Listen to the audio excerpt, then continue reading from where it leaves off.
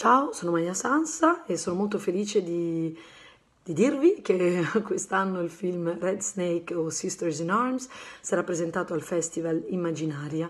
Ci saremo sia io, che sono una delle protagoniste, che la mia regista, Caroline Forest, per parlarne con voi dopo la proiezione. Il film verrà presentato il 19 giugno di pomeriggio, credo, e um, è un film importante che racconta del coraggio e di gruppo di donne, donne ribelli e combattenti. Venite numerosi.